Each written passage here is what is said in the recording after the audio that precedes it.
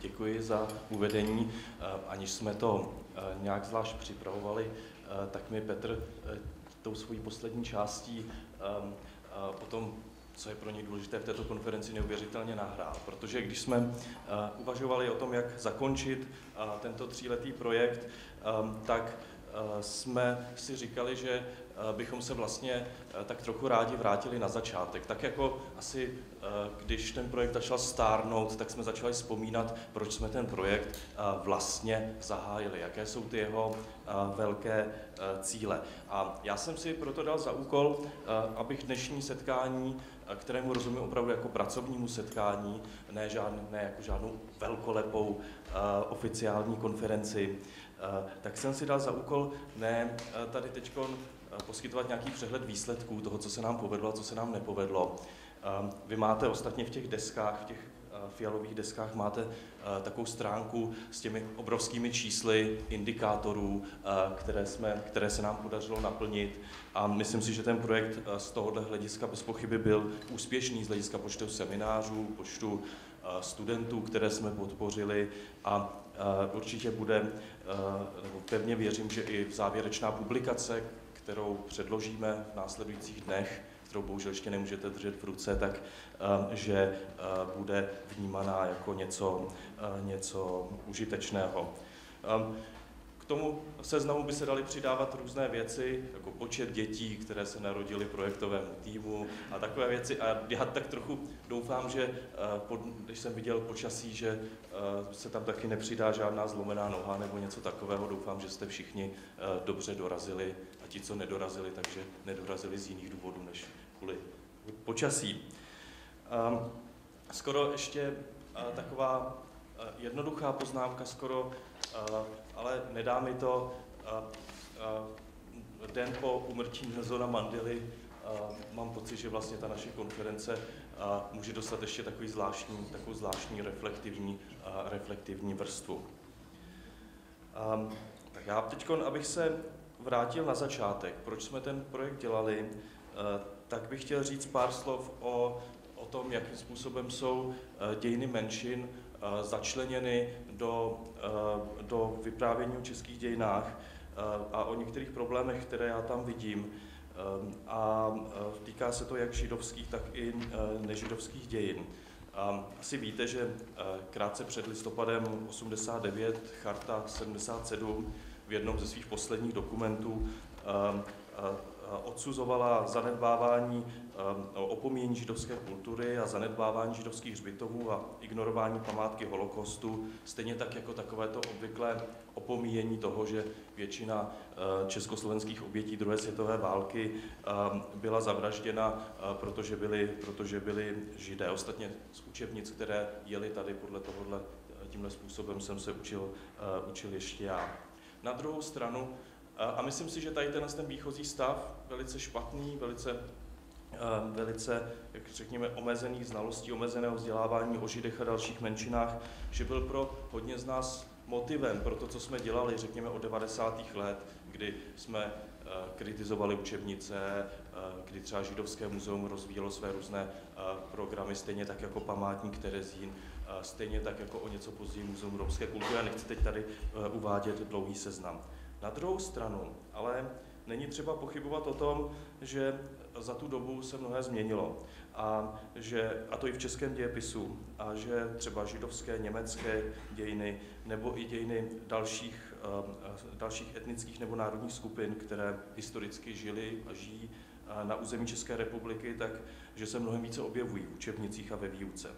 A skoro bych řekl, že uh, nalezení menšin Eh, patřilo k vyrovnávání se s ideologicky manipulovaným dějepisem v době socialistické diktatury. Ten, ten zájem o menšiny určitě navazoval v mnohem ohledu na, eh, na širší procesy v Čechách i ve světě, nebo v Československu i ve světě, zejména od 60. let, zájem o menšinová studia v Československu, hledání reformovaného socialismu, nebo jestli chcete socialismu s lidskou tváří, patří k tomu, patřil k tomu stejně tak zájem o France Kafku, stejně jako o německo, eh, německojazyčnou židovskou literaturu, ale taky třeba o holokost. A ehm, je jistě zajímavé si uvědomit, že i v disentu v době normalizace se, a někdy myslím s takovou velkou dávkou idealizace, hovořilo o českých zemích jako o místu soužití Čechů, Němců a Židů. Um, takže to pozitivní, z čeho my můžeme být, je, že uh, si myslím, že se opravdu do značné míry podařilo překonat to poměrně daleko jdoucí vymazání těch ostatních, těch jiných z českých uh, dějin. Vymazání, které bylo poměrně, to je trochu zjednodušené, ale bylo poměrně zřetelné, řekněme v důsledku Mnichovské dohody, druhé světové války, stejně tak jako nuceného vysídlení uh, Němců z Československa.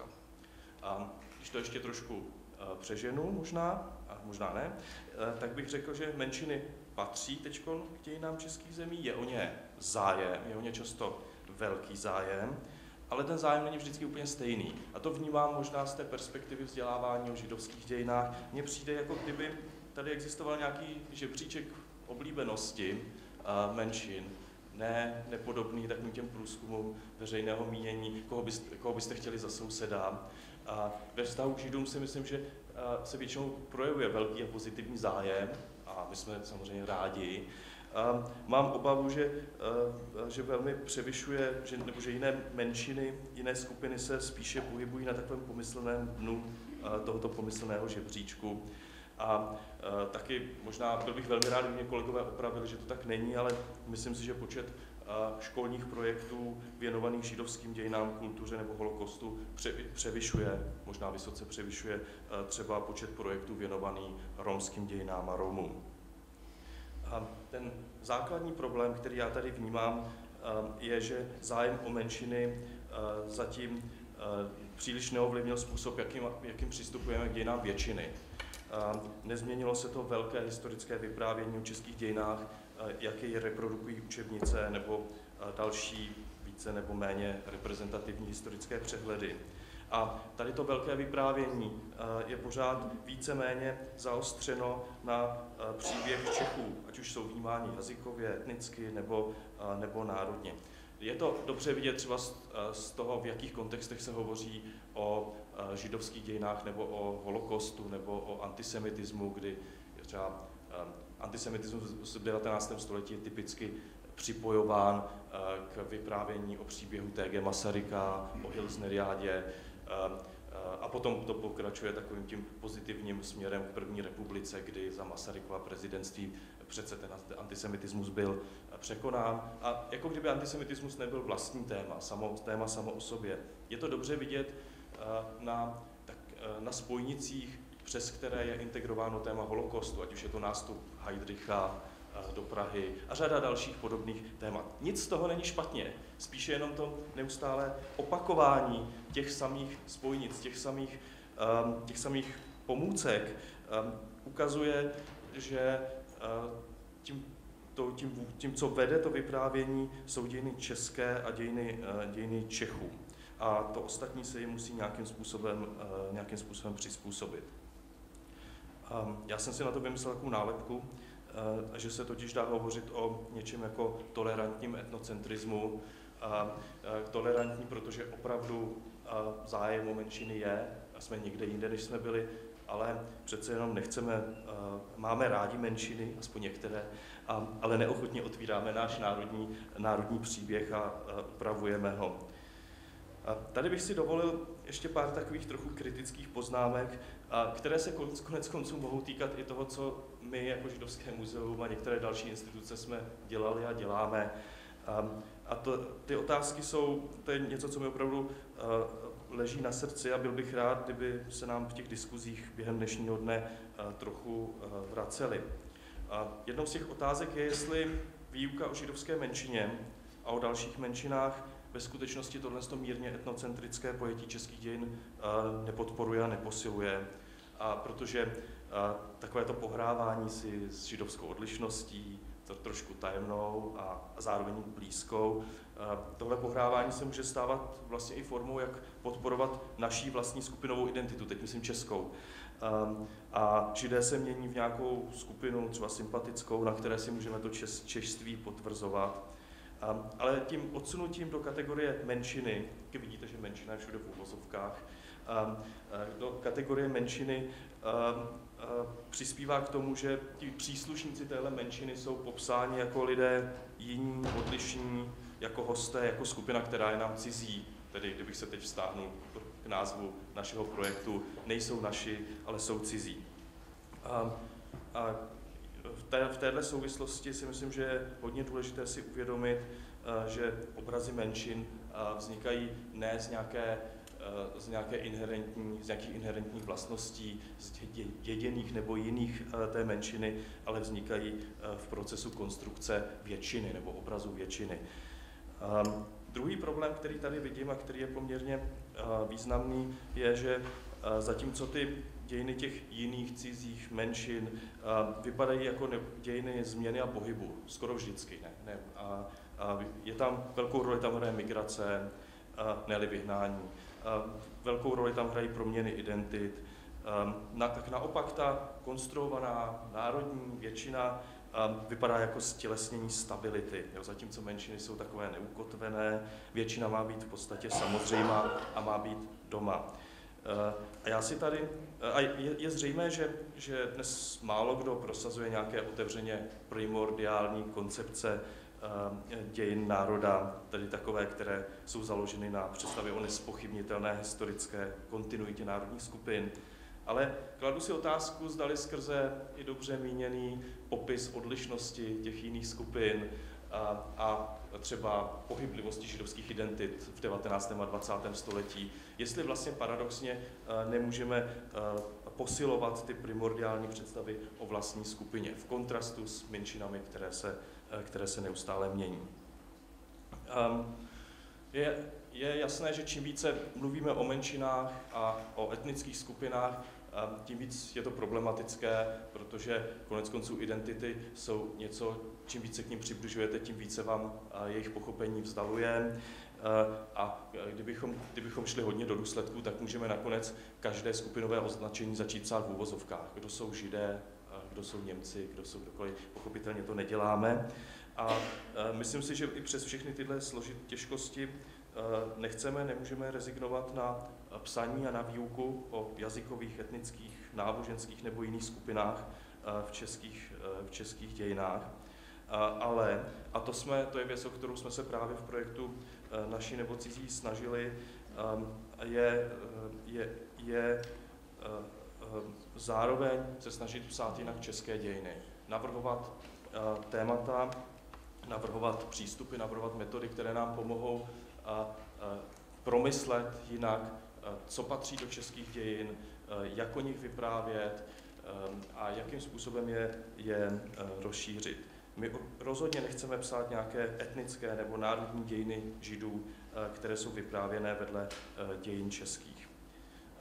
Spíše naopak usilujeme o obohacení českých dějin a o jejich koncipování jako sdílených dějin lidí, kteří kteří žili nebo žijí na eh, území současné, současné České eh, republiky. Já bych tady jenom eh, úplně kratičce řekl ještě pár slov o tom, o připravovaném, o našich centrálních tématech a o připravované publikaci projektu. Ta, my, jsme si, my jsme si na začátku pojmenovali Eh, pět témat, o kterých jsme měli pocit, že buď jsou relativně nová a příliš se o nich eh, neučí, nebo, nebo eh, že, v, že v těch tématech jsme schopni ukázat věci, které podle našeho názoru nebyly příliš doteď reflektovány. Těch pět tématických okruhů, a kdokoliv teda s námi už spolupracoval, tak je zná, tak mi musíte odpustit, že je teď zopakuju. Pět tematických okruhů byly židovské identity, židovské identity mezi vírou a národem v 19. a 20. století, antisemitismus a zejména antisemitismus v moderních českých dějinách.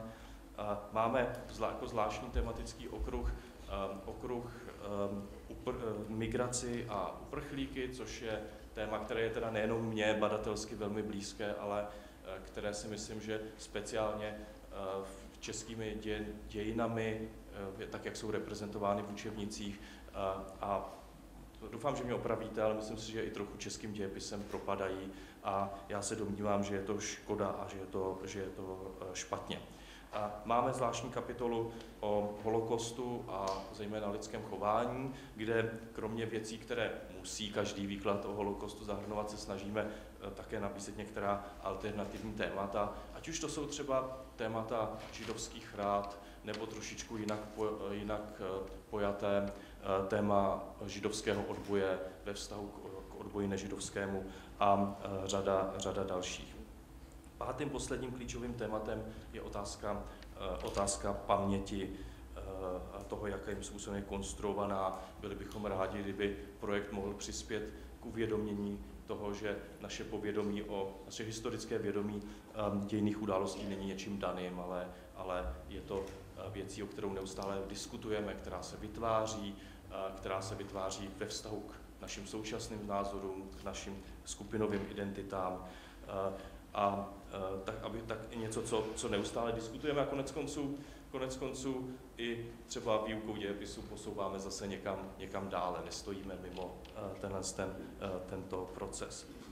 A ten projekt i ta publikace výsledná bude, si myslím, že je kritická ve dvojím ohledu. Za prvé se snaží kriticky zaměřovat na soužití Čechů, Němců, Židů v českých zemích. Vymezuje se vůči tomu mírně etnocentrickému pojetí českých dějin.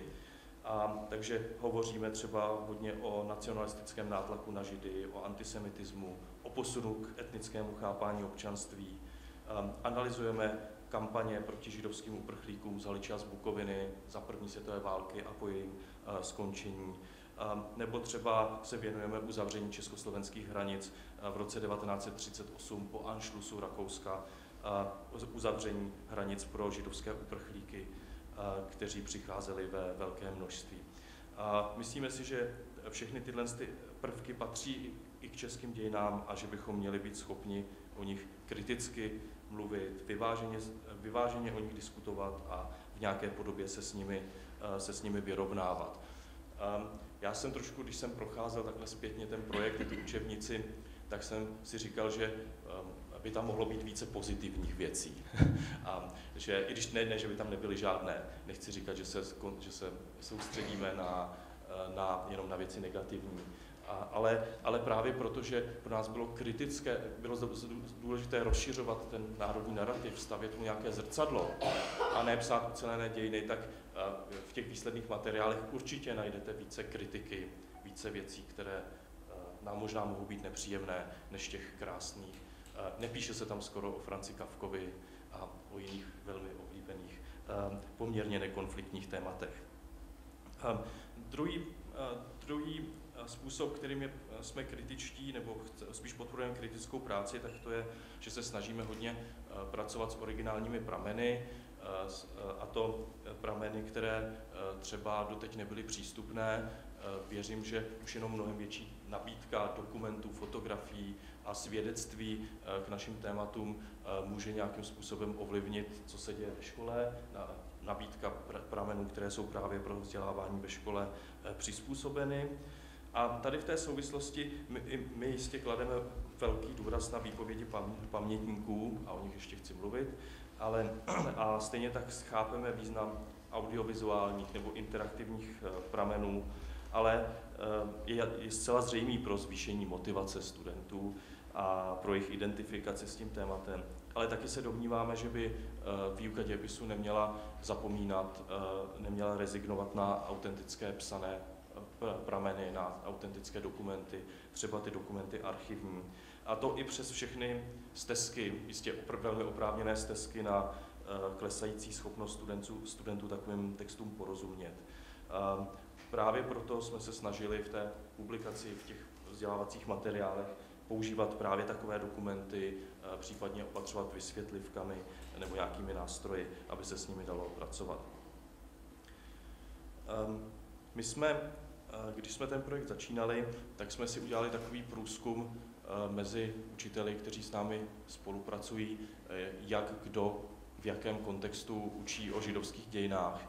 A i když tam padaly nejrůznější věci, tak z toho vyplynuli, ten, tím výsledkem je, že existuje jenom několik typických míst, kde se o židech hovoří a, a většina z nich jsou spíše zmínky, ať už to je emancipace, nebo potom třeba ta, ta Hilsneriáda, mluví se o Kavkovi, mluví se o založení Izraele a o některých dalších momentech. A a, ale nejvíce se mluví o pochop, pochopitelně o tématu holokostu. A to je věc, o které bych chtěl říct pár slov, uh, protože téma holokostu, uh, genocidy židů za druhé světové války, nebo jestli chcete Shoah, uh, je pro nás zcela zásadní. I v tomto projektu jsme se mu velmi, velmi intenzivně věnovali. Ale zároveň jsme si vědomi toho, že někdy takovým nechtěným důsledkem toho může být toho, že holokost je tím nejobsáhlejším tematickým blokem, tak nechtěným důsledkem eh, může být, že eh, židé jsou potom vnímáni hlavně jako lidé pasivní, jako lidé, kteří jsou jenom pro následování, jako oběti. Eh, vlastně se ztrácí jejich individualita, ztrácí se jejich schopnost z toho historického výkladu, jako by se ztrácela jejich schopnost jednat, rozhodovat se a nebo rozhodovat se dobře nebo špatně třeba. A e, my jsme chtěli a kladli jsme si za cíl právě proti tomuhle v tom projektu e, velmi působit. A myslím si, že i když je to možná ve vztahu k židovskému holokostu nejmarkantnější, že, e, že i ve vztahu k ostatním menšinám je to důležité téma, že se o nich často mluví v těch situacích tragických, kdy jsou spíše už, řekněme, odpuste mi ten výraz, výraz konzumenti pro následování a může to být, může se to týkat romského holokostu, může se to týkat uh, nuceného vysídlení Němců uh, a řady dalších jiných událostí. My jsme se snažili proti tomu působit jak tím, řekněme, těmi jinými tématy, která se snažíme vnášet do výkladu českých dějin a také a zejména velkým důrazem na orální historii jako nástroj poznávání poznávání dějin. A to právě z toho důvodu, že v rozhovorech s pamětníky, i když třeba ty rozhovory byly natočeny primárně pro zachycení tématu holokostu, tak v těch rozhovorech ti lidé vystupují jako lidé, kteří jsou živí, aktivní, kteří dělají chyby, mají své lásky, nelásky, je tam z nich nějakým způsobem reflektují svoji identitu a tak dále a tak dále. My jsme v součástí té závěrečné publikace bude, jejíž přes, přesný obsah máte tady v, tom, v, tom, v té složce, ale bude tam, bude tam také svazek vyprávěné dějiny, který obsahuje 15 rozhovorů, redigovaných rozhovorů ze sbírky Židovského muzea. Myslím si po, teď po jejich opakovaném přečtení, že to jsou rozhovory velice silné a že to, že, by to, že to bude materiál, který velmi přispěje ke vzdělávání eh, o židovských dějinách a zároveň zpřístupňujeme online eh, výběr zhruba 30 úryvků eh, z té druhé významné orální historické sbírky, která se týká českých židů. To je, to je té takzvané Spielbergovy sbírky, a, která je dneska spravována univerzitou University of Southern California a, a její Shoah Foundation, eh, nadací pro dějiny Shoah, eh, a v Čechách je zpřístupňována centrem Malach, ještě o tom dneska ostatně, eh, ostatně uslyšíme.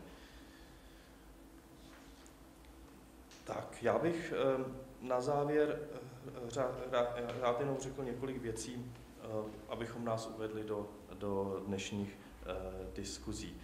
My si myslíme, že ten konec toho projektu je opravdu vhodnou příležitostí ho zasadit do širšího kontextu a, pobavit se v širší skupině o tom, co kdo dělá, jak, jak to dělat, jak to nedělat a třeba se i kriticky podívat, třeba i mnohem kritičtěji, než jsem se o to snažil já, podívat na úlohu menšin ve vzdělávání o českých dějinách. Já bych byl velmi rád, kdyby se tady hlavně rozpředly diskuze. Ostatně, když se podíváte, tak na tom programu není moc nějakých frontálních přednášek, tedy konkrétně je tam jedna větší přednáška, která, bude, která nás jistě velmi posune, ale, ale jejím centrem, centrem programu dnešních, dnešního dne, kromě prezentací projektu, jsou dva, dva diskuzní panely, a prezentace kolegů z ostatních institucí, tak abychom tady to, co děláme, zasadili do trošičku eh, širšího kontextu. Eh, takže já věřím, že náš projekt i dnešní eh, den, případně zítřejší den, vám přinesou inspiraci a že nám pomůžou všem nově, více, lépe a třeba i společně uvažovat o dějinách židovských, českých, dějinách menšinových. Děkuji.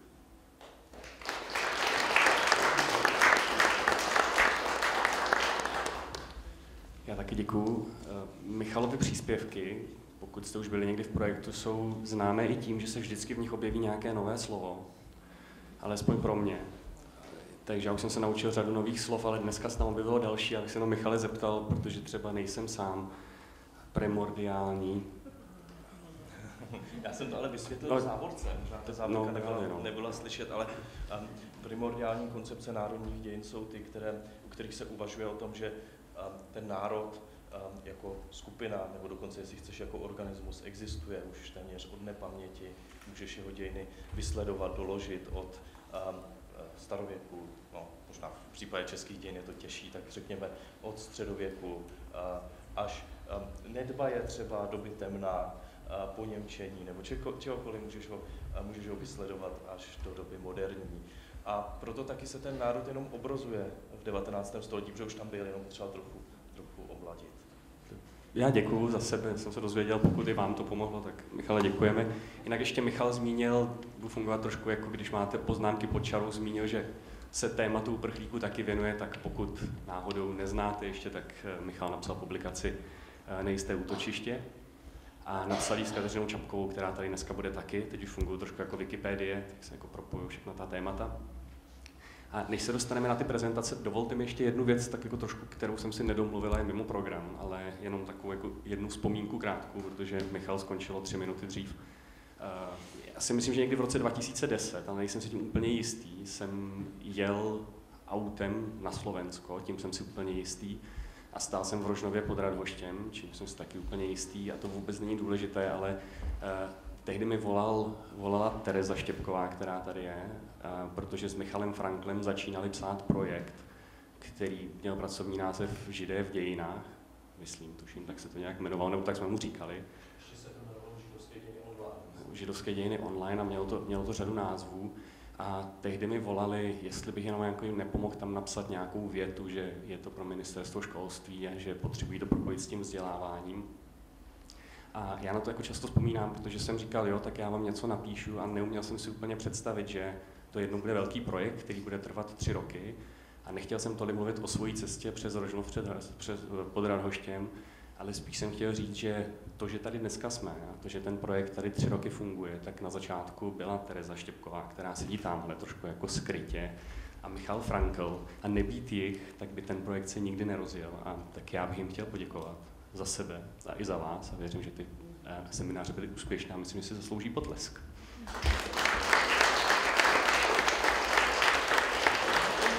Oni by to sami neřekli. To, to znělo trošku, jak kdybychom eh, tu konferenci naší už uzavírali. A, a, já jsem si říkal, že nebude jinde, jinde prostor a měl jsem to jako tak delší dobu na srdci a hrozně jsem chtěl říct, že jsem jel tím autem teda na to Slovensko. takže, takže děkuji za tu možnost